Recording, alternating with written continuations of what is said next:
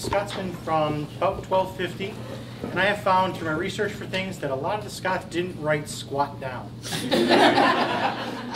trying to find period styles or things is a little difficult, but I do have a book, the Oxford uh, Dictionary of Scottish Verse, and I found in there uh, an entry from Thomas of Erkendon uh, from 1225 to 1300, and he wrote in a style of uh, 11 line stanzas.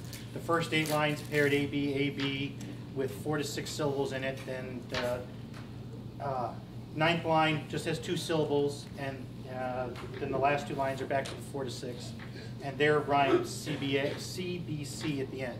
Uh, a gentle that I cook with and drink a lot with uh, inspired me to write this today. Fire's red flares glow bright. The sun's new dawn breaks. As knife's edge prisms light, with raw bits whole he makes.